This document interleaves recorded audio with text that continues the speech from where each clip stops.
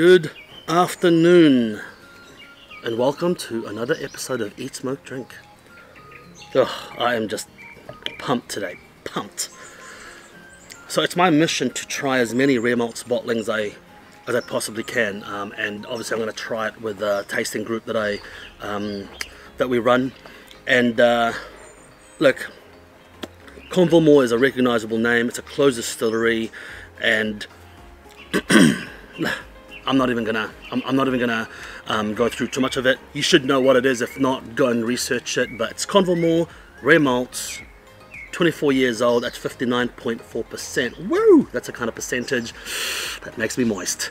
So, Convalmore, extremely unicorn-like, um, and this actually belongs in our tasting group um, the night aptly dubbed drinking unicorn's blood because Moore is kind of like drinking unicorn's blood like you know Voldemort you know drinking the unicorn's blood to get some life. This is kind of it. Okay? So let's get nosing because I cannot wait anymore. Oh goodness gracious.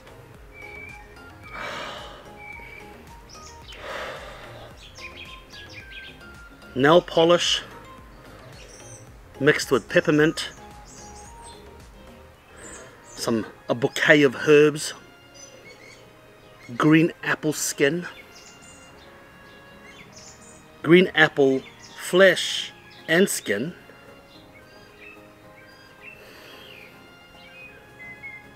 baby powder, like talc, you know the Johnson Johnson's kind that makes you sick Oh, wow. There's a chalkiness to it. That's where I get the talc from, the chalkiness.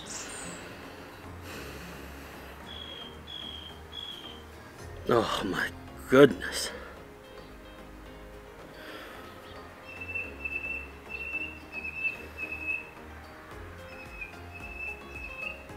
I'm trying to pick a dried fruit. I can't quite get that dried fruit.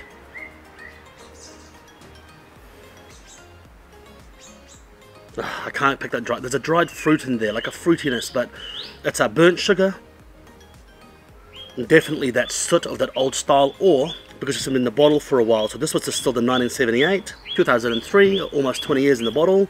It could be old bottle effect, it could be the style, but it has got that soot, that carbon, once again, the minerality that you don't get in modern expressions. So it could be the style of distilling once again, or it could be the bottle starting to leach into the spirit. Time.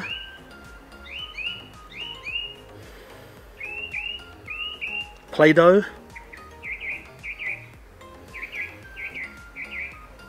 Pine resin. Oh, excellent.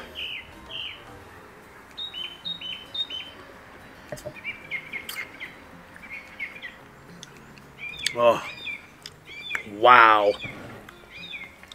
Burnt sugar, sweetness, rose water definitely definitely apples today green apple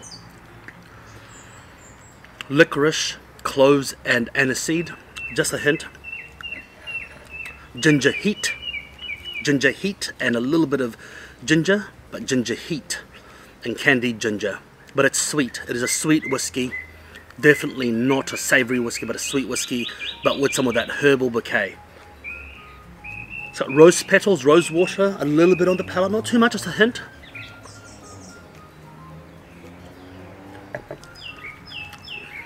And it tastes like um, hot stones on a hot summer's day when you spray water on stones and then the heat dries the water and you smell that hot wet stone.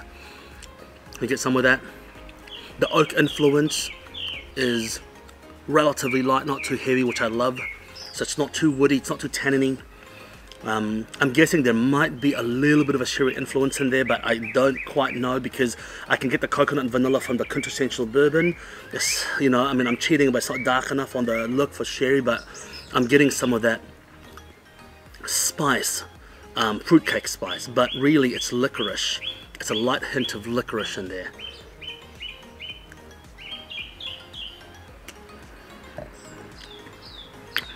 Mm.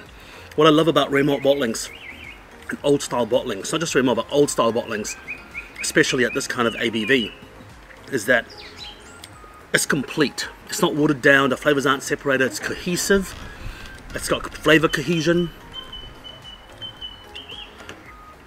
and the finish is just phenomenal. Like the aftertaste is just something that I cannot explain, except for the fact that it's just lingering and it's just coating my mouth. The oiliness, it's it's viscous, um, and it just sticks onto the palate.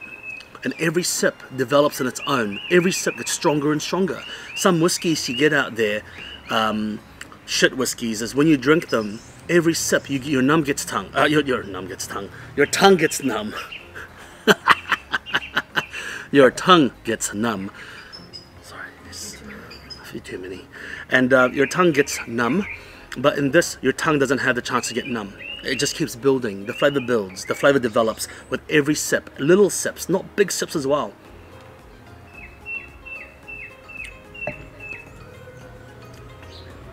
Oh, wow. Mmm. It's got fruit. It's got flowers. It's creamy. It's malty. Oh, wow. Look, it's fucking delicious. Um, Mall is generally pretty good. Um, I've had only the privilege of having a few Convalmores um, and some of them have been way better than others. The Convalmore 36 has definitely been one of the best Convalmores I've ever had. I've actually had a 40 before, and that wasn't the best Convalmore I've had. It was okay, but it was really fiery. But I would say this is going to be, out of the four, maybe five I've tried, this is going to be the top two. Um, this is absolutely phenomenal. Absolutely phenomenal. It is what whiskey should be today. And uh, I mean, I sometimes just think to myself, you know, why do they close it down? Why do they stop it? I mean, if they're producing bottles like this, why do they stop? I don't understand. I don't understand. Diageo, if a rep have, can see this, can you please tell me why you'd close down Mall? I just don't understand. Oh, it's just what whiskey should really be. I mean, none of this generic shit, you know, that comes out and it's just all tastes the same. Um, it's designed to be smashed down without thinking. This is drinking with thinking. I mean, this is just fantastic. Oh, wow. Mm. Cigar pairings. This is a ballsy whiskey, like Arnold Schwarzenegger ballsy. You know? So I would say,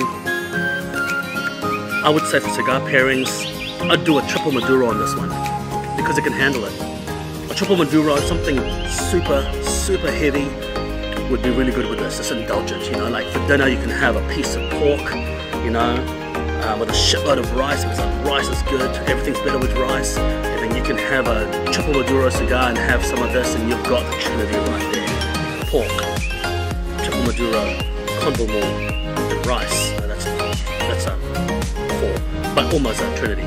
So I recommend getting this bottle, even if you have to commit moral acts to get it, do it, you know, um, I, I, highly recommend it. Until next time, make sure you eat, smoke, drink. Tell me about your Convalmore experience. Have you tried this particular bottle? Because I want to know your thoughts. Did you like it? Um, did I miss some flavors? Let me know. Cheers.